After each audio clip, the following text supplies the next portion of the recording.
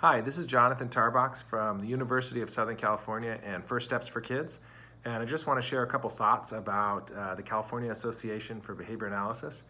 CalABA has been the major professional practice and research context for the field of behavior analysis for decades uh, in the Western United States and especially California, of course. Um, CalABA, the role that CalABA has played in our profession really can't be overstated.